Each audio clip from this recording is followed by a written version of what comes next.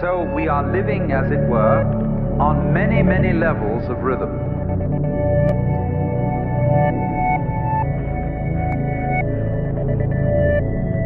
This is the nature of change. If you resist it, you have dukkha, you have frustration and suffering. But on the other hand, if you understand change, you don't cling to it, and you let it flow, then it's no problem. It becomes positively beautiful.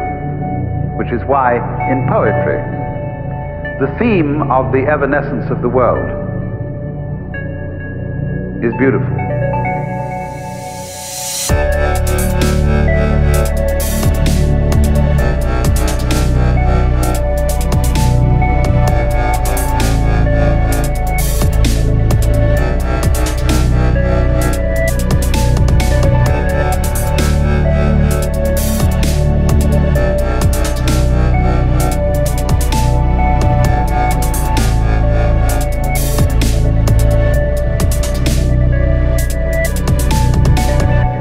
See, it's always the image of change that really makes the poem.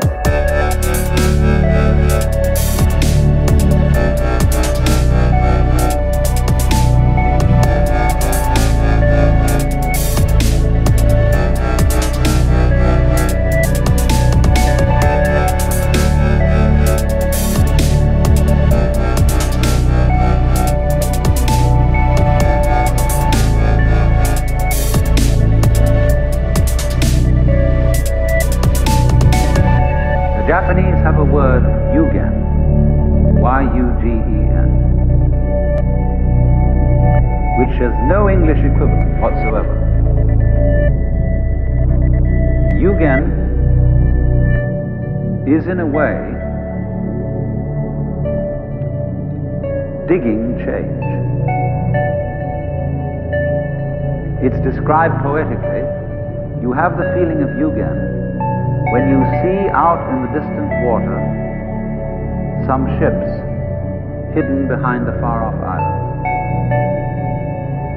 You have the feeling of Yugen when you watch wild geese suddenly seen and then lost in the